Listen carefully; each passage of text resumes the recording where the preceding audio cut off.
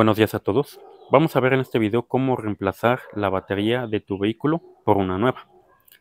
La idea de este video es que sea el primer video de una serie de videos a lo largo del tiempo. Por eso es que el título del video lleva la palabra Manejando Ando, que es similar al título de la serie de Comprando Ando que tenemos en el canal.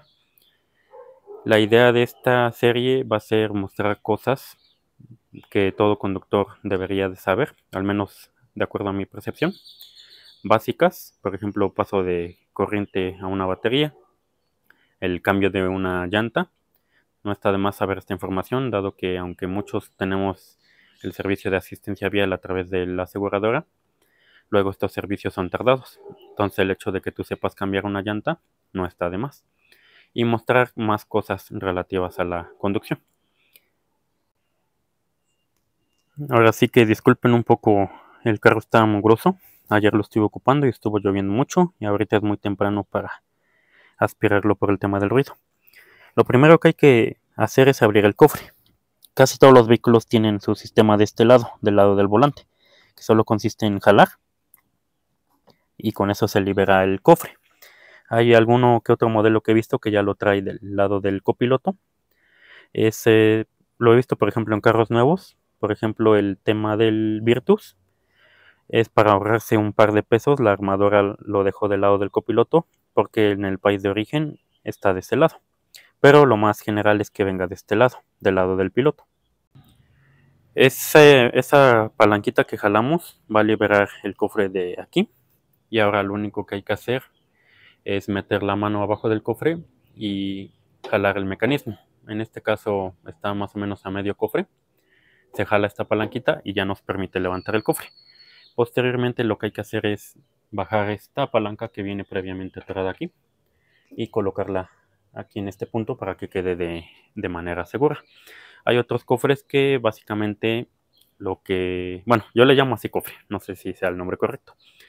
Hay otros que ya traen un mecanismo integrado por esta parte y basta con subirlo y se queda fijo sin necesidad de poner una, una palanca. Ahora bien, para el tema del reemplazo de batería. En este caso yo tengo una batería LTH. Se compró, si mal no recuerdo, a mediados de 2020.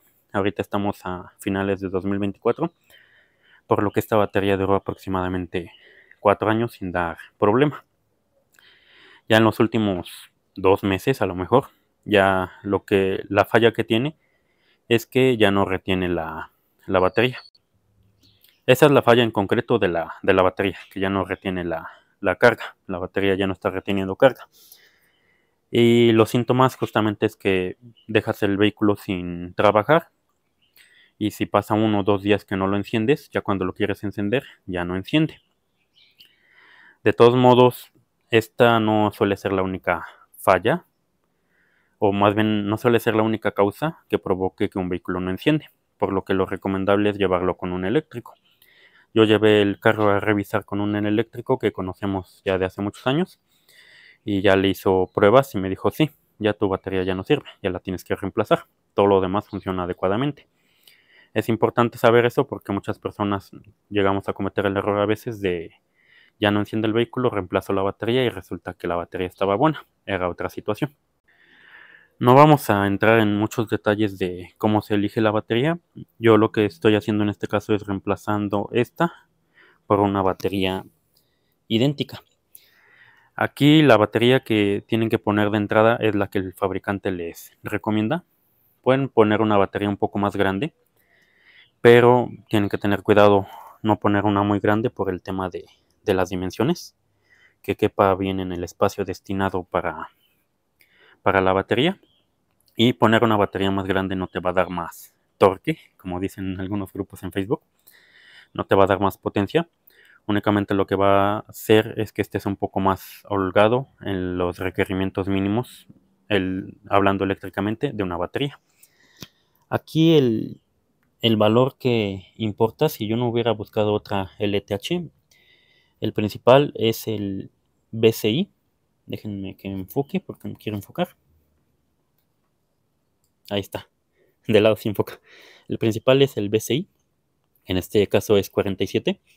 Se supone que esta es una estandarización internacional para que cualquier fabricante de baterías la cumpla. Y tengo entendido que está enfocado en dimensiones, sobre todo, en largo, en alto y en ancho. En eso consiste el BCI. En este caso el modelo es L47550, es una batería de 12 volts.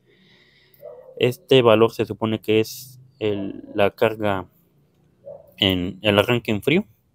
Este es el amperaje ya que puede alcanzar.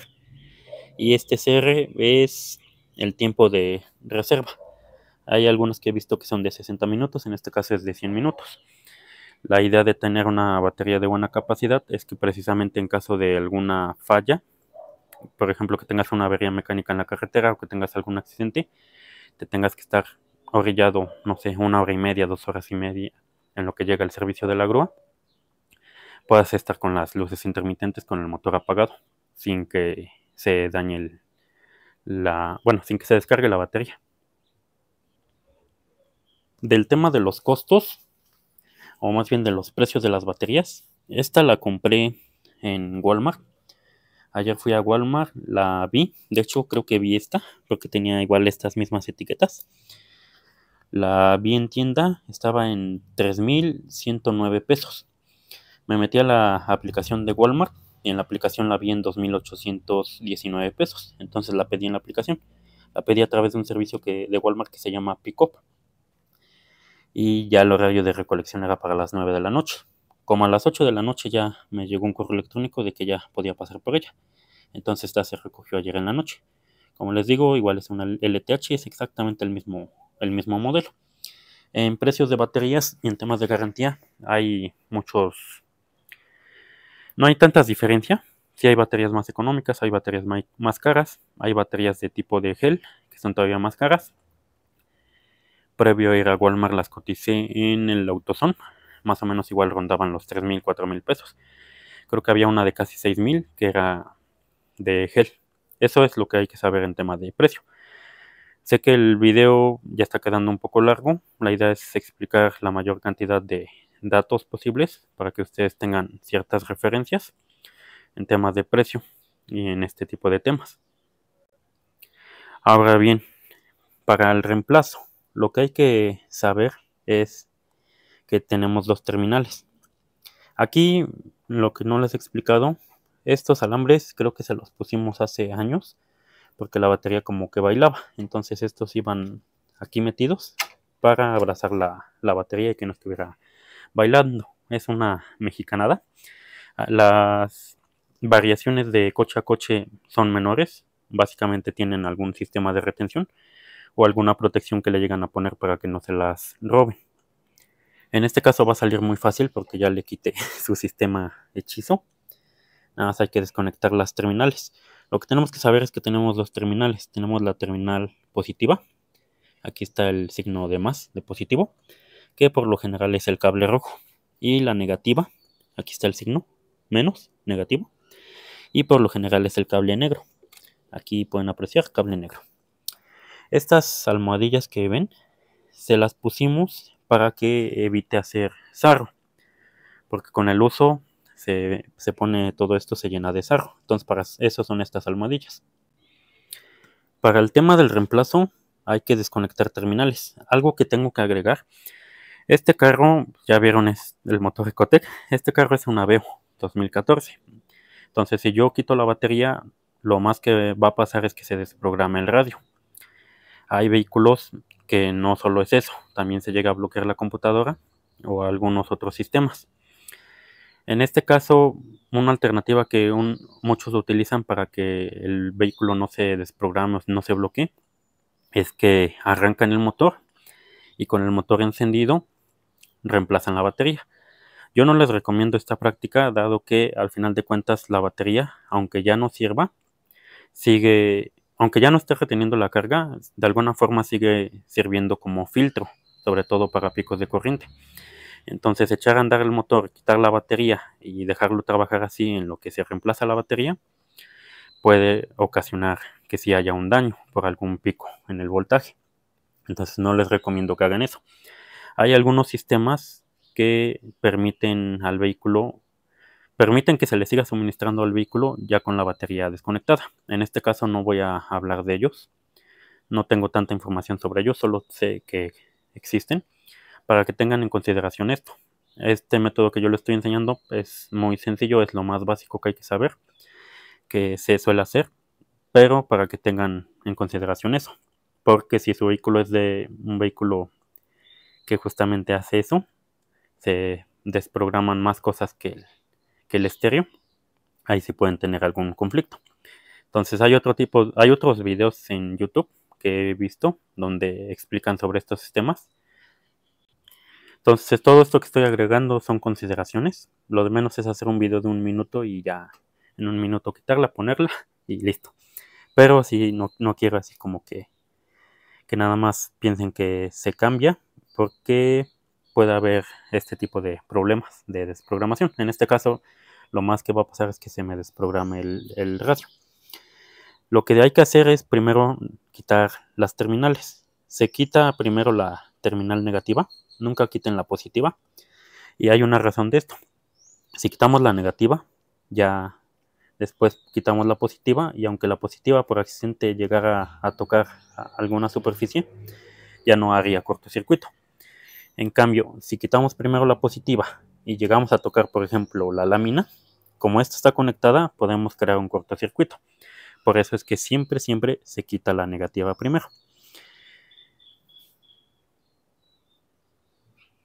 Bien, para quitarla lo que no tienen que hacer es tocar ambas terminales al mismo tiempo. Si tocan una por una no hay mayor problema. No se van a electrocutar, no va a pasar mayor tema. En este caso estoy usando una llave de 10 milímetros para esta tuerca. Y lo único que hay que hacer es, es aflojar. Ahora hay que buscar dónde colocar esta sin que haga contacto. Ahí está. Aflojamos la otra terminal, que es la de la positiva. Y a ver qué estoy haciendo, apretando, aflojando. Aflojamos.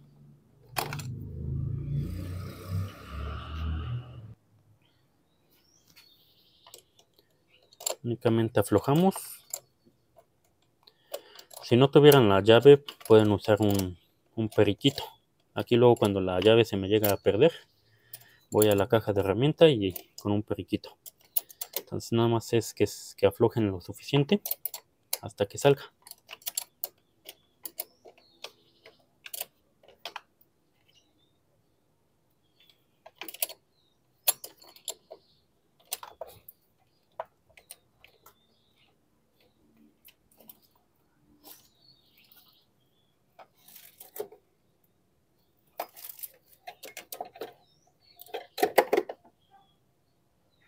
Y listo, ya pusimos las terminales que no hagan contacto con nada.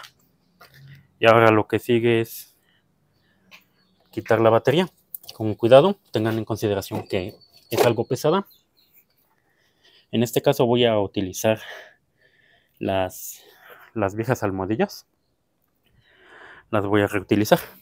Hubiera sido lo más adecuado a lo mejor comprar unas nuevas, pero se me pasó. Entonces, posteriormente colocamos con cuidado la nueva, la nueva batería. Ahí está. De hecho, pueden observar aquí que es la terminal positiva y la terminal negativa. Aquí tiene, no sé si se alcance a ver, el más y el menos. Y de igual forma lo tiene en el casco. Entonces ahora hay que poner los, las almohadillas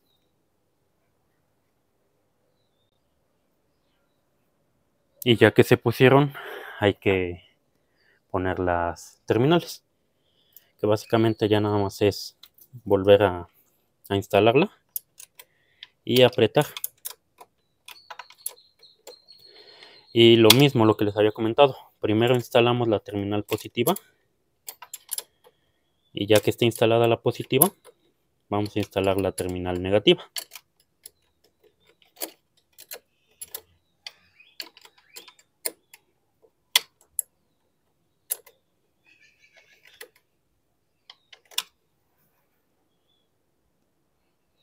Ya, ya apreté la terminal positiva. Pueden ver que ya está correctamente fijada. Ahora procedemos a activar la, la terminal negativa. a conectar, perdón. Aquí nada más tengan precaución cuando las coloquen porque luego hay algunos carros que por el tipo de alarma o cuestiones así llegan a silbar o, empieza a activarse la, la alarma.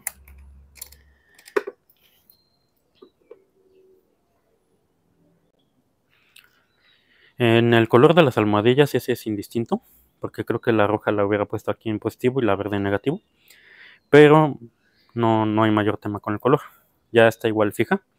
Este me gustaría que quede aquí adentro, bien, porque como pueden ver está un poco salido, para que no se vaya a salir.